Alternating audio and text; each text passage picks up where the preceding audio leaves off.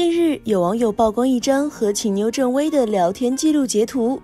根据截图显示秦牛正威回应他和吴亦凡恋情一事表示我不挡他的路刚牵手被拍确实没交往。之后他还问了一句你们想让我怎么说？据悉二零一九年八月底有媒体拍到吴亦凡开车与女子一同回家疑似恋情曝光。